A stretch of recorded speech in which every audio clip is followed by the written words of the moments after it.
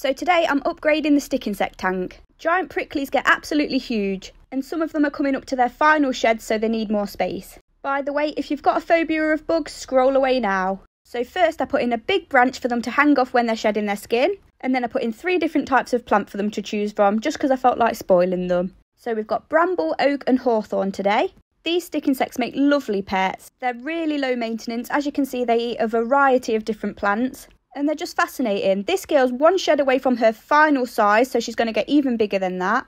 This girl's about two sheds away. Whenever they feel threatened, they either do a little dance from side to side or they'll curl up their tails and mimic scorpions. They also let off a smell that smells similar to toffee. So cool. This guy started stuffing his face as soon as he got in there.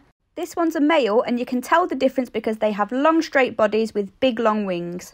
And here's the new setup in the kitchen. I probably need to move them now because it's absolutely massive.